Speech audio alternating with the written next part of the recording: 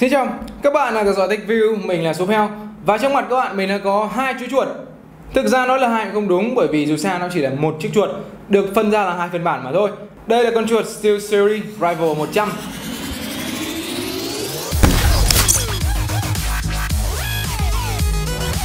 Nếu các bạn đã từng cầm chiếc Steel Series Rival phiên bản trước mà chuyển sang chiếc Rival 100 này thì có lẽ sẽ cảm giác cực kỳ mới lạ luôn. Bởi vì nó gần như không đem lại điểm tương đồng gì của chiếc Rival trước. Bây giờ mình sẽ mở hộp từng chiếc một và nói các bạn là tại sao đã có hai cái map giá khác nhau như này mặc dù là cùng một phiên bản tách ra làm hai. Hãy bắt đầu bằng chiếc Rival 100 có cái hộp hoành tráng hơn một chút, màu mè hơn một chút. Ở đây là bên ngoài của chiếc hộp. Thực ra cũng chẳng có khỉ gì cả, chúng ta không phải đi sâu quá nhiều. À mà trước khi bắt đầu video này thì mình muốn gửi lời cảm ơn đến MyBoss Gaming Gear đã hỗ trợ kênh TechView sản phẩm này. Đây là chiếc hộp của chúng ta. Hết rồi ở trong hộp chúng ta chỉ có như này thôi à đây trong này các bạn sẽ có một tờ giấy đại khái hướng dẫn sử dụng nhanh và một số thông tin gì đó thực ra không quan trọng lắm Đối tượng mà Steel Series hướng đến khi bán ra thị trường trong level 100 này là những game thủ muốn có một trải nghiệm trên những sản phẩm tốt, hiệu năng đầy đủ, không thiếu tính năng gì mà giá thì lại không muốn quá cao. Thì chiếc Rival 100 này đáp ứng được gần như mọi tiêu chí, có thể nói là một trong những chiếc chuột gaming tốt nhất hiện giờ. Thì uh, đây là chú chuột của chúng ta nó khá là nhẹ, bởi vì trong này sẽ không cục tạ nào cả. Các bạn sẽ có dây làm bằng nhựa hoàn toàn. Thực ra là dạng cao su lai nhựa, nó cũng khá là mềm. Cổng USB cũng khá là cơ bản, không hề có gì hoành tráng cả, cũng không mạ vàng luôn. Ở trên lưng chuột thì nhựa nó làm kiểu nhám nhám, giống như là một lớp nhung. Nhưng mà mình hy vọng là cái lớp này nó sẽ rất là bền, chứ không bong chóc ra như một số loại chuột khác và con chuột này được thiết kế dành cho người dùng tay phải bởi vì nút phụ ở bên thân trái. Nhưng mà các bạn khi là thuận tay trái có thể vẫn dùng được bởi vì chuột này thiết kế rất là cân bằng cả hai bên. Dùng tay trái vẫn thể cầm được, chỉ là hơi bất tiện hơn một chút mà thôi. Chúng ta có tất cả là 6 phím bấm. Chuột trái, chuột phải này. Trái, chuột phải. Chuột giữa. Chúng ta hai chuột bên và nút ở giữa, chỉnh DPI các bạn đây sẽ có logo SteelSeries được khoét ra cái màu sơn ở bên trong là lớp nhựa trắng để ánh sáng thể lọt ra ngoài. Và một điều nữa thú vị là chiếc Steel Series Rival 100 này có đèn LED RGB 16,8 triệu màu Chiếc Rival 100 này thì có cảm biến được thiết kế riêng dành cho chỉ chiếc chuột này mà thôi Không có chuột nào khác có cả. Cái cảm biến có tên là SDNS gạch ngang 3059 gạch ngang SS Chữ SS cuối cùng khả năng là do chữ Steel Series. Đây là dạng cảm biến quang.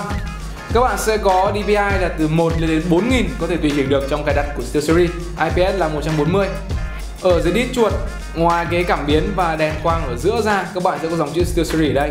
Một số thông tin khác Fit ở trên rất to và hai feet ở dưới. Ở bên cạnh trái, chúng ta có hai nút phụ, back and forward này. Các bạn sẽ có một cái phần chấm chấm chấm chấm chấm chấm chấm ở đây, làm bằng nhựa thôi, để chúng ta có thể cầm bám hơn.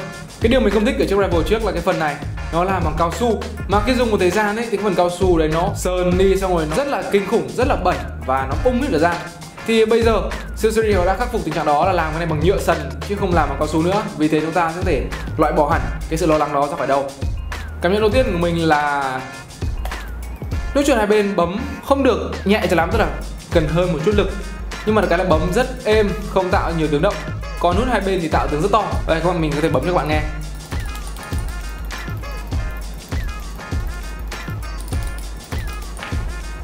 Đây là chú chuột chúng ta sau khi cắm vào máy mặc định thì đèn led sẽ luôn sáng ở màu đỏ da cam, màu truyền thống của Steelseries.